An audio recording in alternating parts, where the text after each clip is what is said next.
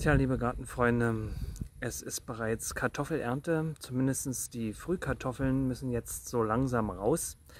Und ich habe den Spaß mir gemacht, heute den Tag genutzt und mal die Frühkartoffel rausgeholt.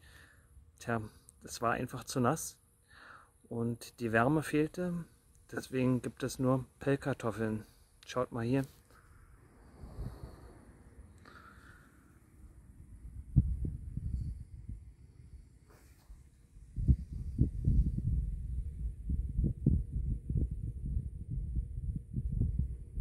Naja, ein paar kriegen die Hühner und der Rest wird dann halt eben als Pellkartoffel genutzt. Schön mit Quark oder ähnlichem oder mit Öl, wie auch immer.